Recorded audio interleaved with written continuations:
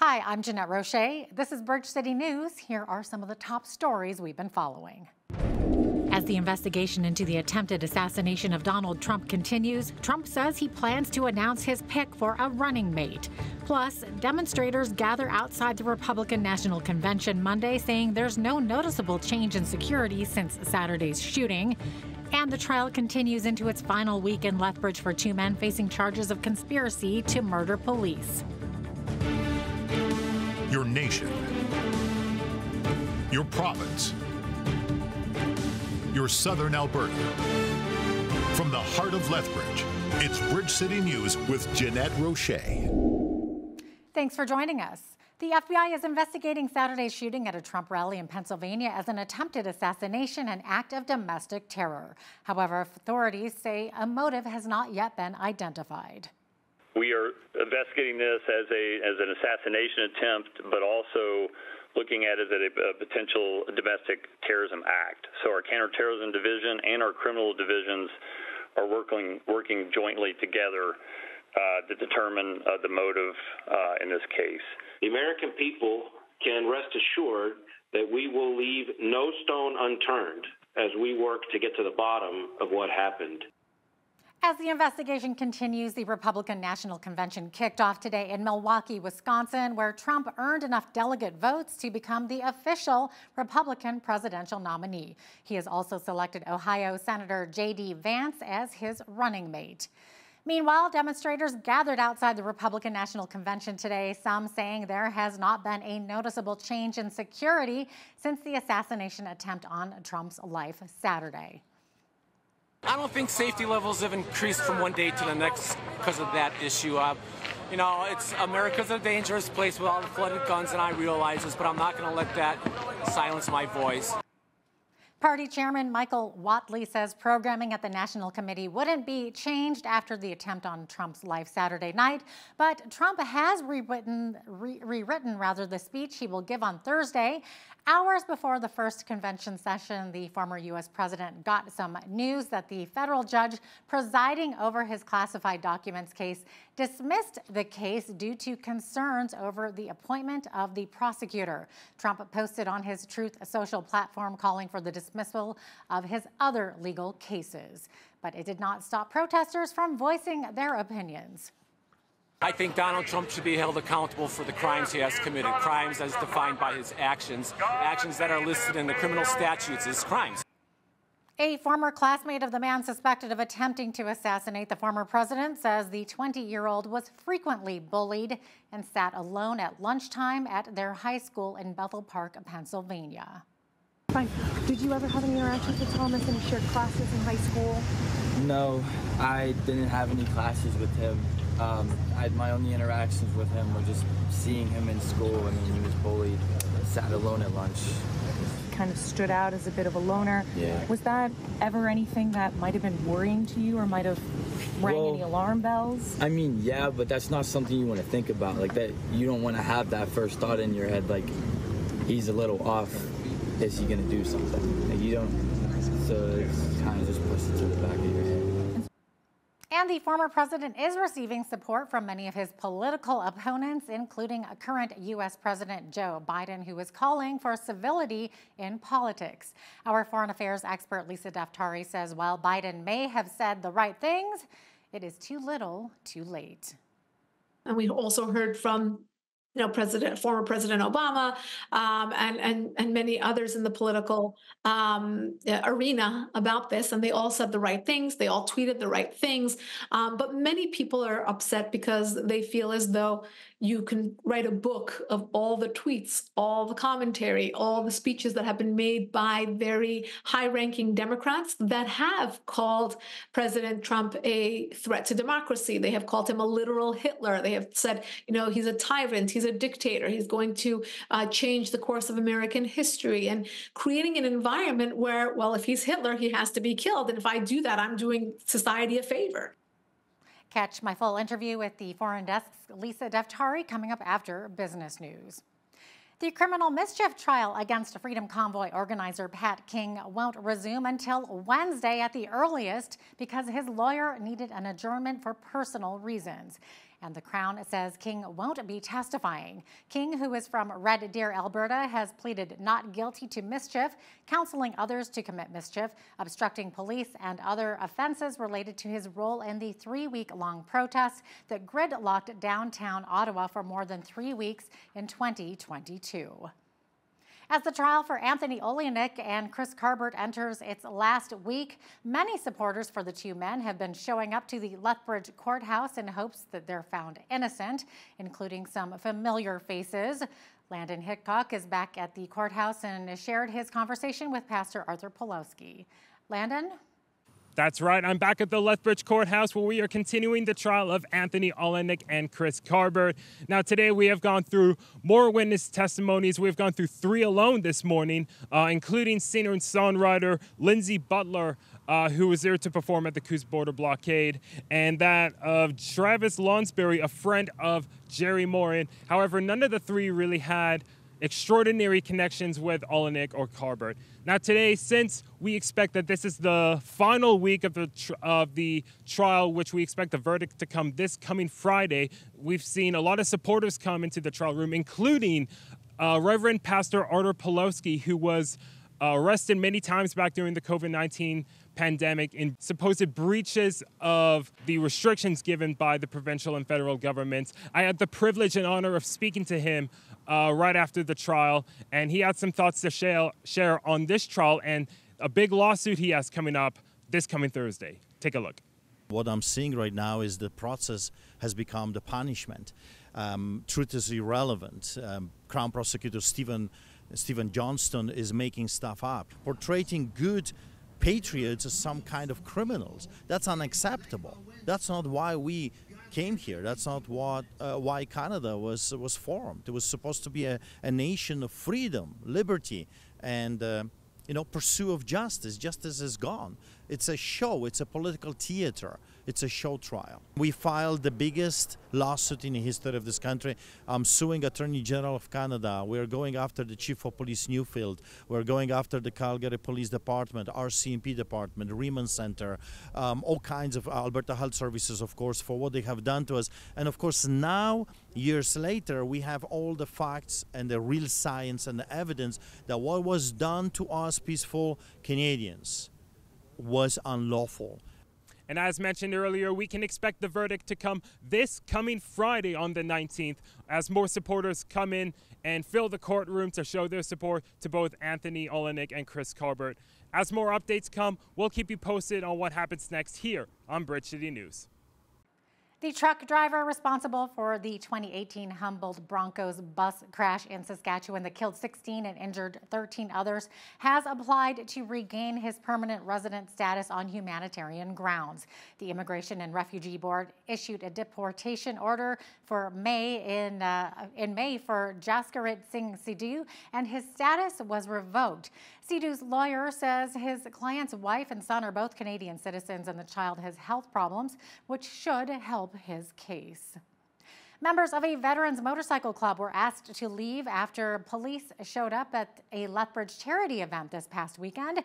As BCN's Brett Brown reports, the members of the Commandos Motorcycle Club attended the fourth annual Outdoor Music Fest and barbecue at Honker's Pub and Eatery Saturday on July 13th.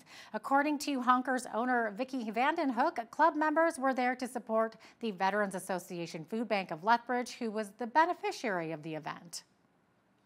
We did have a motorcycle club come in, the Commandos. Um, they were fine. They donated money and bought a pop and a burger and everything, and they were really great. And then all of a sudden, we had like 12 police officers in full armor come in and said that they needed to go because they came in as a group with their cuts. It's just preventing problems. It was what I was told. So, of course, as the owner, I have to go with whatever the law tells me I need to do. Right. And unfortunately, they were they were great guys in contributing to our charity event, but they had to leave. According to Vandenhoek, members of the commandos left peacefully when asked to do so by police. A member of the commandos who did not want to be identified said the motorcycle club is made up of retired soldiers who support veterans and their families. Lethbridge Police Service says it, along with its policing partners, visited approximately 100 licensed establishments to conduct checks Under the Alberta Gaming, Liquor and Cannabis Act, police say the act enables the exclusion and removal of gang members from licensed establishments. About 50 individuals met the definition of gang members under the act, according to police, including 20 at Honker's Pub and Eatery. Vandenhoek says the charity event was a big success, raising over $3,000 for the Veterans Association Food Bank. For Bridge City News, I'm Brett Brown. A new program that uses artificial intelligence is being implemented by the City of Lethbridge so that residential waste streams are maintained and in optimal conditions. The intelligent system checks residential recycling and organic carts to find materials that should not be placed in those containers. James Nichols, Waste and Collection Manager with the City of Lethbridge, says this is a one year pilot and he also explains how the screening works. See up here, there's three distinct cameras. So there's one here on the bottom of the truck that's actually reading a serial number. So it's an additional verification process to ensure that you can see I am collecting cart from 123 Main Street. When that cart is actually lifted up into the hopper of the truck where the materials are collected, there are two additional cameras that are actually looking for that contamination. So once the material has been deposited into the hopper, that camera up at the very top is looking directly down, capturing the materials that are being deposited into the hopper. And then at the end of the day, that imagery is then sent in to the system. AI detection technology is utilized to review that, uh, that footage to determine if any of those materials, such as bag materials, yard waste, uh, garbage, household hazardous waste, is in fact in that cart. At that point, that's where we're then collecting those postcards and sending them out to residents. Uh, what we're looking for mainly are things like bag materials, um, household hazardous waste. So batteries, lithium ion batteries are becoming more and more of an issue. Um, tires, uh, as well as yard waste materials. So organic materials that should actually be making their way into the green cart. Nichols says as soon as an inappropriate material is found in the blue or green cart, a notification will be sent to the house where it was found so this behavior is not repeated in the next collection. They will be notified that if the behavior continues and uh, lose access to the blue cart, which will increase the cost of disposing garbage for that particular household. Lethbridge Police has revealed statistics on a busy weekend in, on Lethbridge Street with the arrival of the Hells Angels and the popular Street Wheelers event.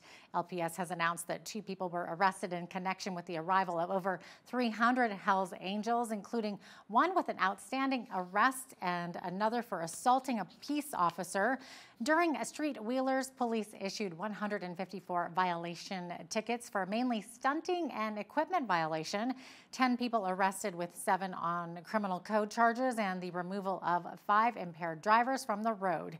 Police would like to thank the majority of participants for acting and driving responsibly throughout the weekend.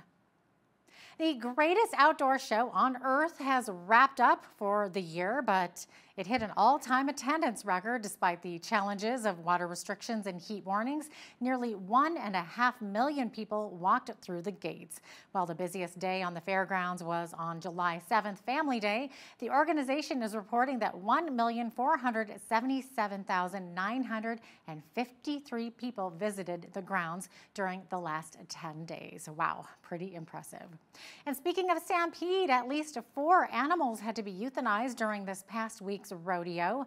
A horse was put down after suffering a racing-related injury during the chuck wagon races Saturday night at the Stampede. This following the injury of two other horses that had to be euthanized earlier in the week during the chuck wagons. A steer was also euthanized after being injured in a steer wrestling competition. Well, Calgary's mayor says outdoor water restrictions are to remain in place for now. Jyoti Gondek says the city will consider lifting the ban on Thursday if the new pipe is st stabilized by then. She says engineers are to work cautiously over the next three days, increasing water pressure in the pipe from 50% to 70% to not overwhelm the pipe. The city's 1.6 million residents have been banned from using their sprinklers and hoses to water gardens since a major water feeder main burst on July the 5th. A pro Palestinian encampment on the University of Manitoba grounds has been dismantled more than two months after it was set up. Tents and other items are gone from the open grassy area this morning on the campus in South Winnipeg. And university officials say the protesters left peacefully. And university, the university had threatened legal action if the encampment remained beyond 8 o'clock this morning. Meanwhile, protesters remained on campus at Vancouver Island University, even though the school's deadline for them to leave had also expired. Protesters say they remain steadfast and that by issuing the deadline, the university has chosen to put students at risk. Wildfires in Newfoundland have forced the temporary shutdown of iron ore mines. Over the weekend, both Champion Iron and Iron Ore announced they are temporarily halting operations as forest fires burn just north of their locations in Labrador City. On Friday, residents in that area were ordered to evacuate by the provincial government due to extreme fire activity. Two major soccer championships were won over the weekend. Lautaro Martinez scored in the 112th minute to give Argentina a 1-0 victory over Colombia in the Copa America championship match Sunday night. The match was delayed by 90 minutes due to pre-game security issues at Hard Rock Stadium in Miami Gardens, Florida. Canada finished fourth in the tourney after on penalties to Uruguay on Saturday. And meanwhile, Spain won a record fourth European Championship title on Sunday after Mikel Oyarzabal, uh, 86th minute goal, clinched a 2 to 1 victory over England.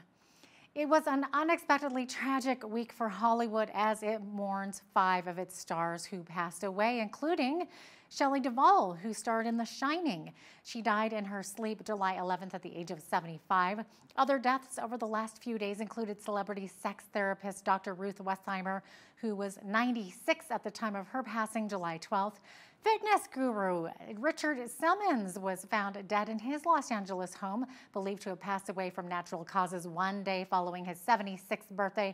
And actress Shannen Doherty of the 90s hit show Beverly Hills 90210 and Charmed died over the weekend after a lengthy battle with breast cancer at the age of 53.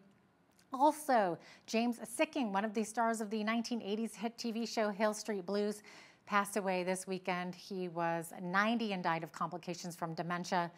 And the world of sports took a blow this weekend as well as retired NFL star Jacoby Jones was found dead in his Houston, Texas home on Sunday. Some very sad news there. Our prayers, of course, go out to all of their loved ones. We do need to take a quick break, but we'll be right back with a look at the weather picture across the nation.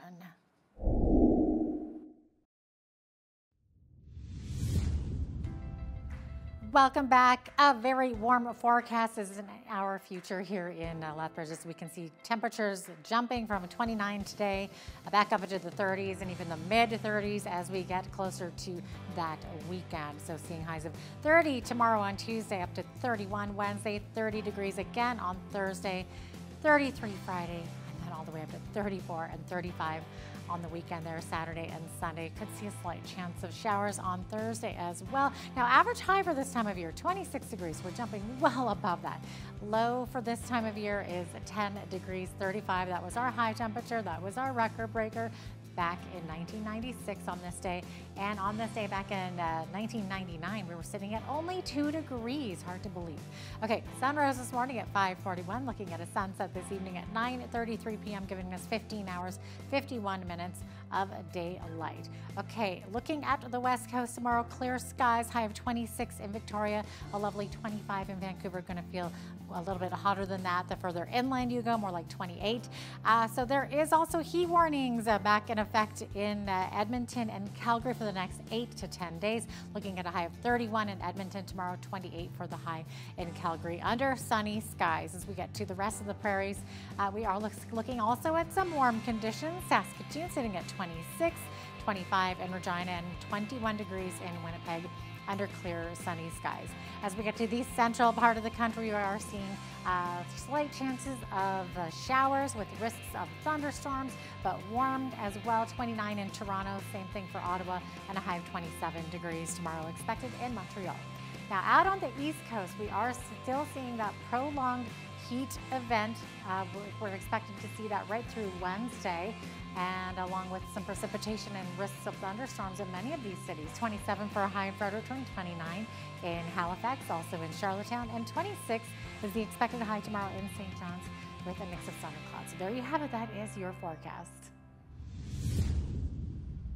As revenue declines from what they call a challenging, adversing environment, Corus Entertainment, which houses brands like Global News and YTV, is, quote, aggressively cutting costs, continuing layoffs, and shutting down parts of its business. Co Chief Executive Officer John Gossling said the company expects to have slashed 25% of its full time workforce by the end of next month, compared with the beginning of its 2023 fiscal year. By the end of May, Had cut about 500 employees. The company will also stop operating two AM radio stations in Vancouver and Edmonton. Corus reported 333.8 uh, $331.8 million in revenue from March through May, a decrease of more than $65 million from the same period last year. Upcoming June inflation data could open the door to a second Bank of Canada rate cut, according to some economists. Stats Canada is set to release its consumer price index figures for last month on Tuesday.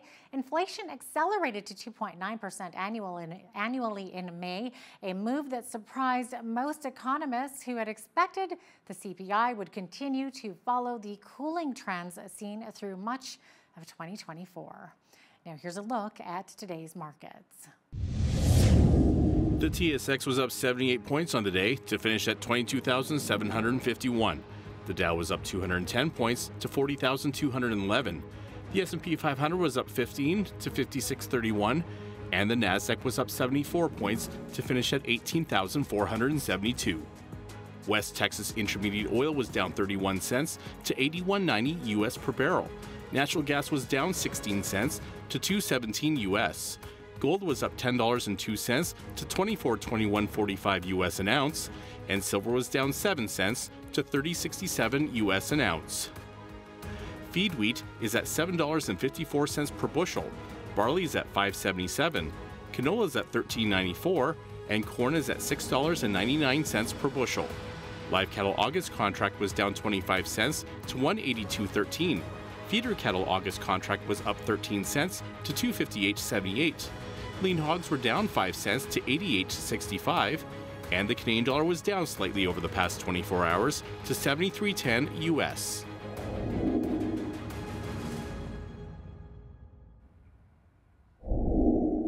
Recapping one of our top stories, the FBI is investigating Saturday's shooting at a Trump rally in Pennsylvania as an attempted assassination and act of domestic terror.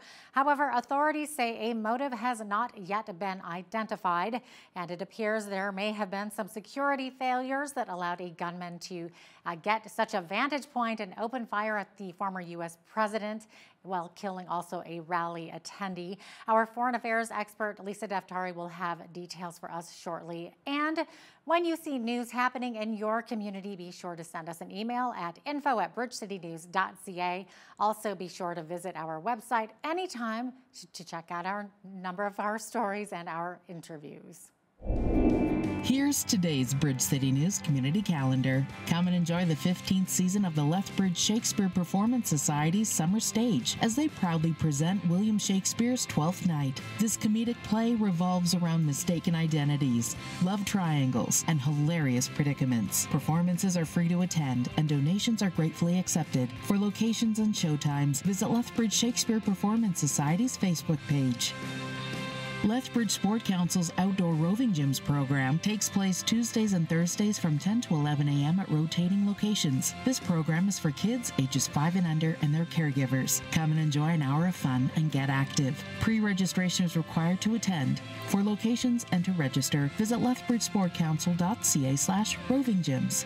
And that's today's Bridge City News Community Calendar.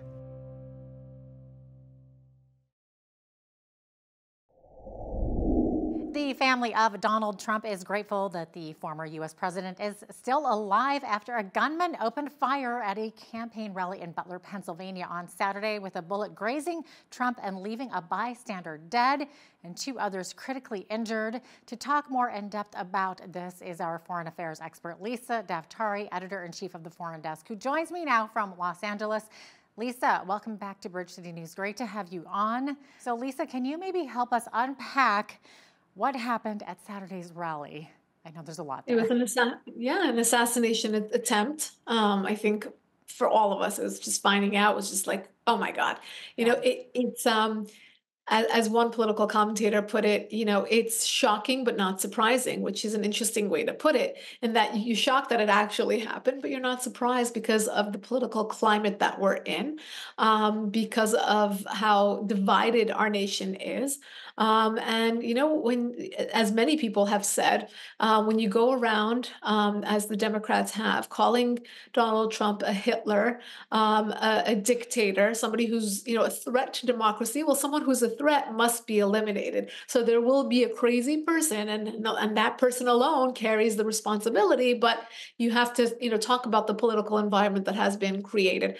Never in in my life has there been such a divided America where you know the, the media takes a side the fbi has taken a side you know the, the school systems take sides um, there is a political the politics, I should say, in every single you know important institution of our lives here in the United States that has created distrust.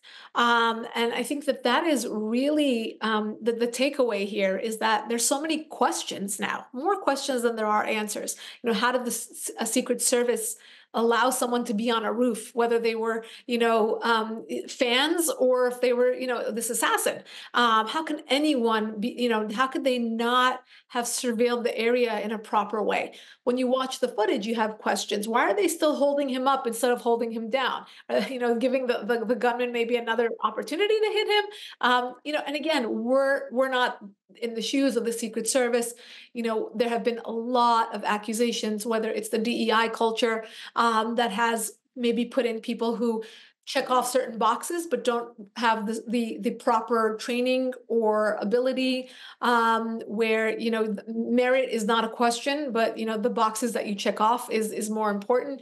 Um, we don't know. Again there's so many questions and so many accusations flying around about the secret service about you know you know what what the white house has said in the aftermath. So it's going to be an interesting week. Yeah, and I mean, you touched on a lot there, and of course, mentioning Secret Service. So it appears that there may have been some security failures that allowed that suspected gunman, this 20 year old Thomas Matthew Crooks, to get such a vantage point and open fire. I, I mean, th- there's so much speculation about this. Are you able to kind of unfold that a little bit more? Right. There are some videos where you do hear some people in the crowd saying something about someone on a roof. Um, and, and TMZ, of all media outlets. You know, a, a TMZ, for those who aren't familiar, is an entertainment, basically tabloid. They're the ones who follow the stars and see what they're doing and see what restaurants they're going to. And and this person gave the video to TMZ where you actually hear people saying, "There's a guy on the roof," and showing this person actually took video footage of the guy laying down um, on his on his belly, it seems, or on his side, um, waiting to to shoot. Um, so many questions regarding the Secret Service. What, you know, why didn't they listen to people in the crowd? You know, obviously you want to be very, very, very careful about every threat, take every threat and, and every, you know, warning you get and every um, hint you get kind of um, seriously. This is a, a tip that was given by the audience that, that detected someone on the roof. Why wasn't he taken out at that point? Um, a lot of questions about why this was allowed to get to the point that it got to. And again, the bullet when you watch and i know so many um, different outlets have shown the picture of the brain showing the angle at which donald trump had turned his head had he turned differently he wouldn't be here uh, right now. And again, that was the goal of the shooter. Um, very, very serious security lapse. Yeah, exactly. It could have been a very scary Kennedy moment right there for everybody watching on Saturday. And of course, Lisa, like there seems to be a lot of information surrounding this. We have to be careful about conspiracy theories and misinformation, but we are hearing reports that a police officer encountered the shooter before he fired at Trump. So, Lisa, can you confirm any of those reports? Yeah, these are, you know, uh, Jeannette, I, I appreciate you doing such, you know, an, an, an ethical and careful job at reporting all this because, as I said, there are more questions than answers. These may not be accusations, these not, might not be conspiracy theories, but they're they are valid questions as to how this happened, how this person didn't come under scrutiny um, beforehand. And look, he's 20 years old. As much as you know, he did have a weapon in hand and he had a motivation although we're hearing that we still don't know his motivation. His motivation was to kill Donald Trump. I think it's as simple as that. Uh, but what was going on through his mind, and and you know what what truly inspired him to come out that day. At the same time, he's not a trained sniper. He is not somebody who should have, have evaded authority. And the fact that there is this report out there that he did come under, um, you know, police surveillance, that has created tension between local police and the Secret Service. Look, law enforcement should have been working together to secure this perimeter. This is not something where you can pass the buck and say, well, it was their fault, it's not our fault, it's that. You know, their goal is to create these, you know, this safe perimeter um, around any speaker, particularly Donald Trump. Um, and, you know, again, people are pointing to certain things that were said by uh, President Biden about a bullseye, certain things that were um, said about giving him less security because of his uh, um, legal troubles. Um, you know, when it comes down to the day of, when it comes down to the moment of, when you're seeing someone on a roof, I mean, there there shouldn't be this lapse. So um, I know that the Secret Service, I know that um, even the White House said that they're opening up an investigation. Um, again, a lot of questions. And I do hope, the only thing I truly do hope, twofold. One, that the media takes a more honest position, regardless of Democrat, Republican. This, these are nonpartisan issues, just like when we saw the debate. You know, the, the media came out and said we were dishonest about you know his um, you know Joe Biden's um, you know how how old or, or frail or unable he is, and they have hidden that from the, the audience. And for about a week and a half, we heard this. Well, the, the the media needs to be more honest. And then all of a sudden, when we saw headlines about this, it was you know. Donald Trump's rushed off of stage. There was an incident. No, this was an assassination attempt. And the more honest that we could be, the more we can come together as a nation. If this is if this is happening to a Republican candidate, that means this could happen to a Democrat uh, candidate. And that is the bottom line. This is a security lapse. It affects all Americans equally. Yeah, uh, for sure. Now, I mean, I was watching on Saturday from my vantage point, which is just the one camera. It looked like Secret Service were doing their job, but obviously there's other things going on and other vantage points there, which uh, I didn't see. But uh, I understand there are even former Secret Service agents saying that this breakdown in security was, quote, obviously an abysmal it was an abysmal failure so you know are you hearing this as well lisa i am in turn look there's a few different things that i want to touch upon okay. number one just the quality of uh, and, and, professionalism of Secret Service. There has been, uh, you know, it, it, I've heard again, like you said, uh, former former uh, Secret Service, um, you know, professionals who have said it's impossible for this lapse to have occurred. Um, this was just a big failure, and there's nothing more we can say about it. Um, that that in and of itself is, is the big question across the board. How did this happen? Meaning, were they not prepared? Did they get an order to stand down? Uh, did they just miss this, which is impossible? How did they miss this? Um, there's a picture, there's this footage of um, one of the Secret Service um, uh, officers, a, female, where she's just playing around with her gun as they're trying to get Trump into the um, in, out of out of the location. Um, and I heard, you know, someone, uh, you know, an, an expert say, you know, why was she even doing that? She should have been all eyes on the situation, aware of her surroundings. Could there be a, another, you know, follow up attack? Um, and again, why is that? Is this because of DEI policies? Is this because the people that day were just off, you know, their mark? They're the ones who failed and they're human and they made human error. what was it that caused this failure? But the fact that we do have professionals calling this out, again, is a red flag. It needs to be investigated. And I do hope that we do get an honest investigation so that these wrongs could be righted in, in, the, in hopefully the next time. And right now we're leading into the RNC, the convention. Obviously, there has to be top notch security there and at the DNC and, and just moving forward. Yeah, absolutely. Uh, what do we, you touched a little bit on this earlier. What do we know so far about the suspected gunman or about the, the gunman that's now dead, I guess? Yeah, um, look, 20 years old, um, he was a registered Republican, which makes sense because in um, in Pennsylvania you can't vote in the primaries unless you are registered for that party. So in order to vote against someone in that party, you need to be registered in that party. So a lot of people, not a lot, I mean I don't know the numbers, but it is a trend among especially younger people to register for the um, the party that you are against and kind of vote defensively in in that way. So that makes sense. And then he gave a small donation, about 50 $15 to a PAC that was um, or, oriented with left wing causes and left wing um, candidates as well. Um, other than that, it looks like he came from a military family. He lived locally in Pennsylvania. Um, and of course, you know, obviously a, a, disturbed individual who carries all the responsibility for, for the man who died, um, a very tragic yeah, and, I was going to say, more importantly, there was an innocent bystander who right. was killed and, at the and he should be spoken more of. I'm very happy to hear there's a GoFundMe um, campaign that tr- President Trump has also endorsed. Some big names gave big amounts of money. Their goal was to raise a million dollars for his family, and, and it has already surpassed three and a half million dollars. And I, I hope that that continues to rise because this was so incredibly senseless and for him to shield his family and to um, you know take the bullet literally to the brain. There was brain mat i mean it's it's graphic if you if you want to see the the footage but um, so so senseless for somebody to just attend a political rally um, and to to lose his life that way. And, uh, and and a former fire chief as well somebody who has dedicated his life to helping save lives and save others for him to lose his life in this senseless and tragic way is just horrific. Our prayers with his family of course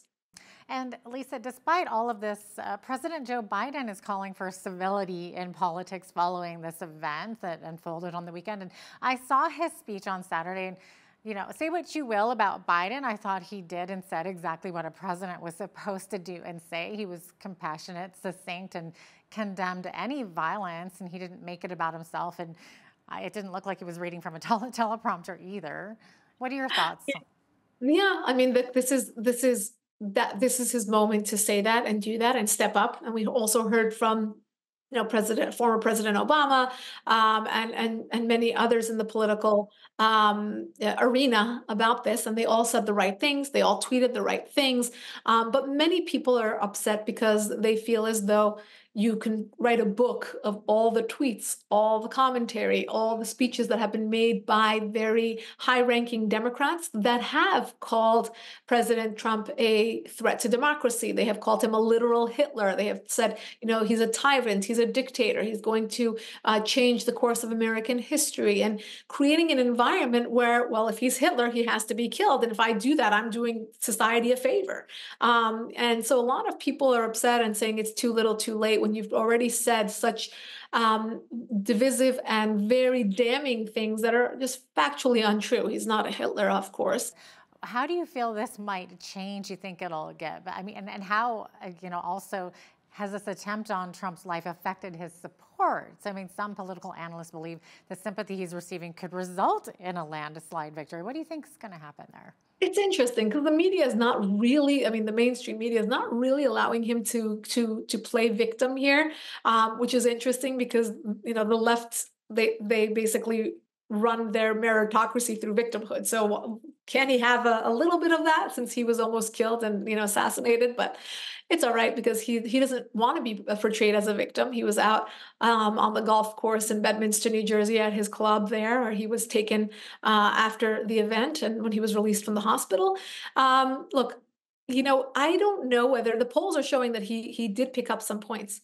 Now, what I have seen is more of a reason for people to come out in support of him. So we already saw Bill Ackman, who's a very um, wealthy and and and visible d- Democrat donor, come out and say, "I'm supporting Donald Trump." I've actually wanted to support him for a very long time and I wanted to come public with this, but I didn't uh, for many reasons because I also thought I needed a long explanation and I just didn't have time to write this explanation. But now that this happened, I'm telling you, I'm voting for Donald Trump and Elon Musk as well. Basically, they came out of the closet in terms of, of, of their voting. Now, um, I do believe these individuals had planned to vote for Donald Trump, and this gave them basically a moment to be like, "You see, world, you see why we're voting for Donald Trump. It's there's there's so much crazy out there. This political environment that has been created is not good for the future of the country, um, and this is this is the candidate that we believe in." And Many of those people are very wealthy. They are businessmen, and it makes sense to vote for the guy who is the, the entrepreneur, the capitalist, the one who um, wants to make America great again, and, and they believe in his vision. Now, again, we don't know how influential this this episode was in actually turning votes, but we do see a, a, a trend now in being more confident about their vote for Donald Trump. Wow, it'll be interesting to see what happens for sure. But Lisa, we are out of time here. Thanks for joining us today. Appreciate having you on. Thank you for having me.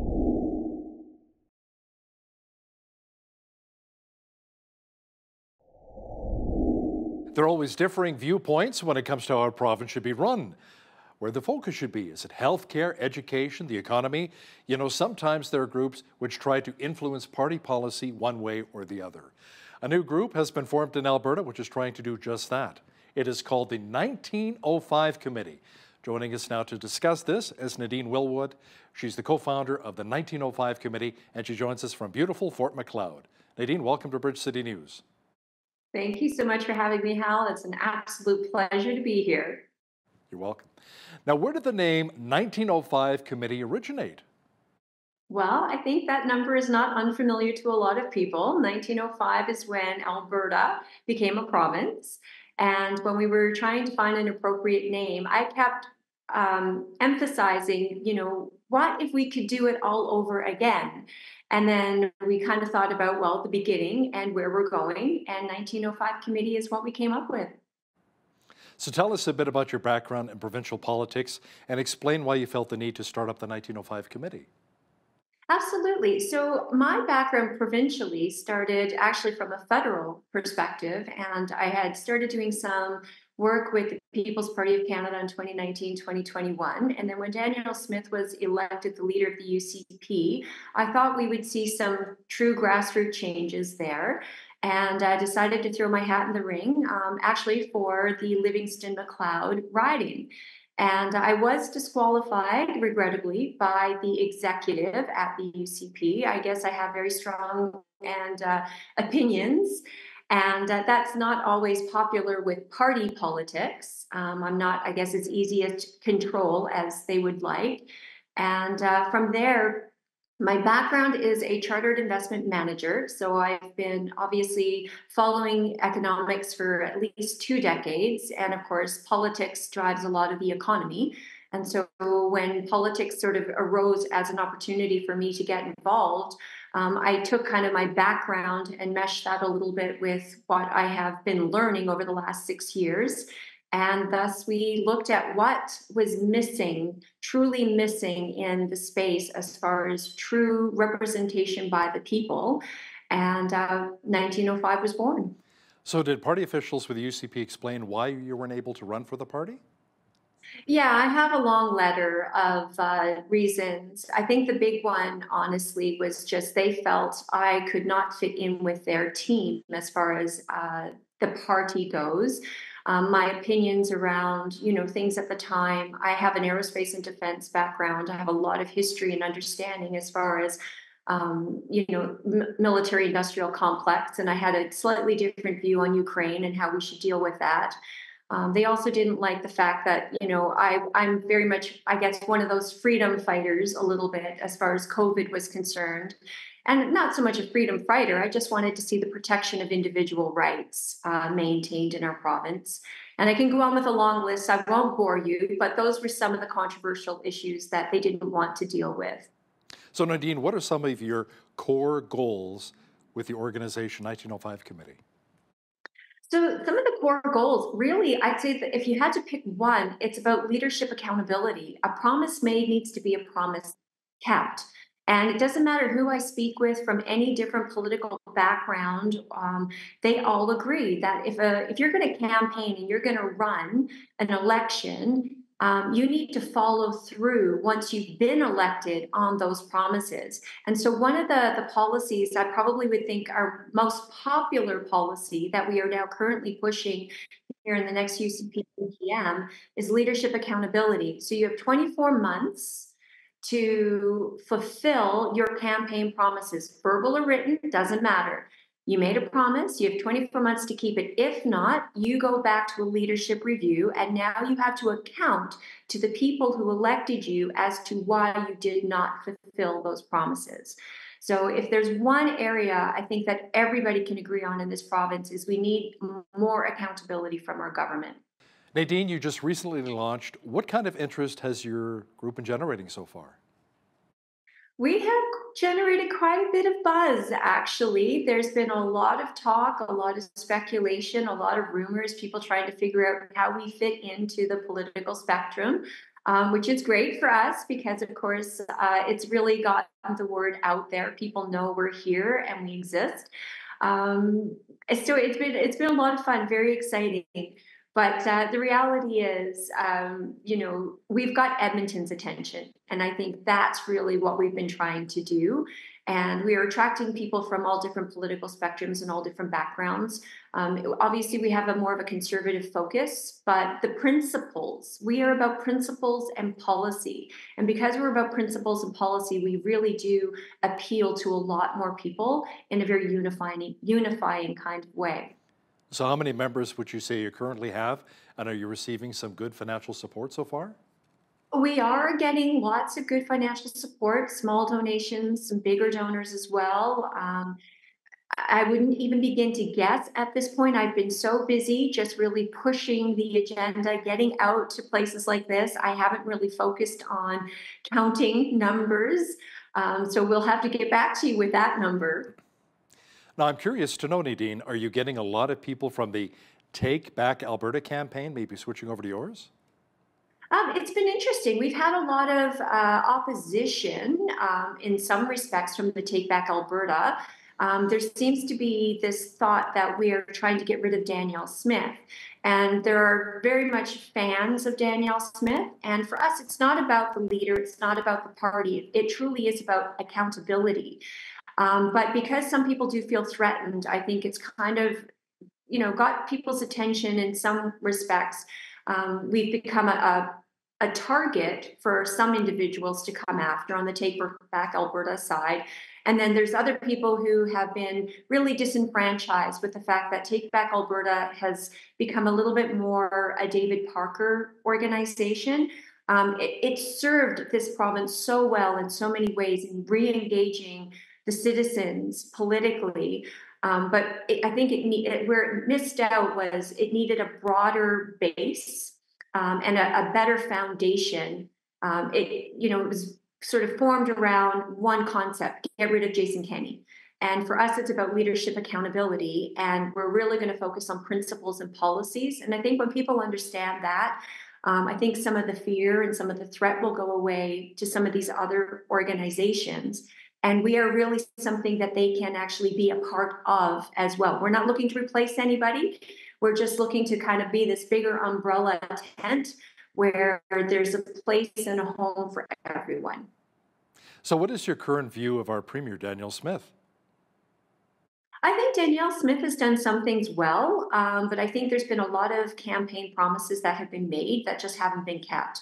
And I think there's been some, in my opinion, or judgment decisions made. Um, you know, we did a, a Redford uh, survey poll, and a lot of people didn't agree with the fact that she appointed uh, Alison Redford to a, uh, a Crown Corporation. Um, you know, of all the people in this province, uh, you know, as far as even conservatives, I think Alison Redford is one of the least liked.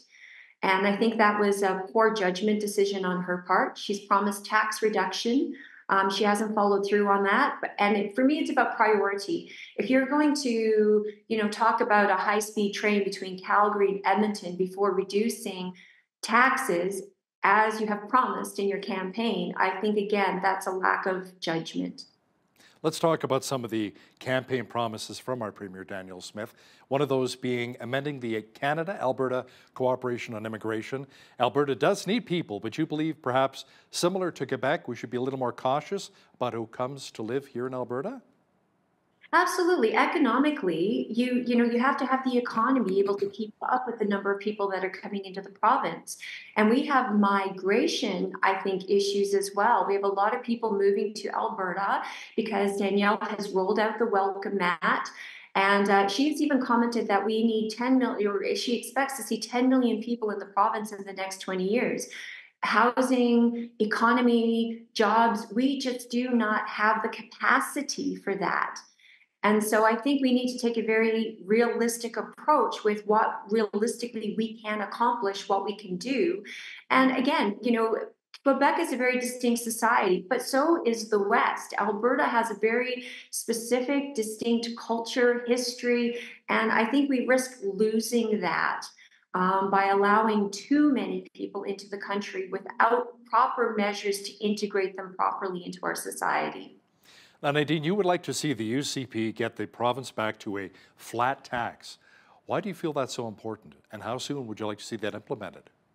Well, two reasons actually. Um, you know, we had an Alberta advantage for a long time, and it was one of the least expensive places to live. And business boomed here, entrepreneurs boomed, um, freedom really flourished. And I think if we could get back to that, and I think taxes is a huge part of it. Right now, Alberta is not an inexpensive place to live. We pay a lot in taxes. And I voted instead of just reducing taxes to go to a flat tax for two reasons. Not only does it keep more money in the pockets and the jeans of Albertans, but it also will help with political favors. If everybody is paying the exact same and everybody see one rule of law that applies to everybody equally, then it's very difficult for politicians to use tax dollars to gain political favor. Now let's discuss leadership accountability for just a moment here. You believe the party brass should implement a mandatory leadership review two years after an election if campaign promises haven't been fulfilled. Who would really determine this?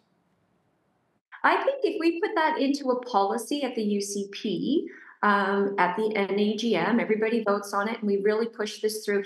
Politicians honestly believe that they are held accountable once every four years at the polls.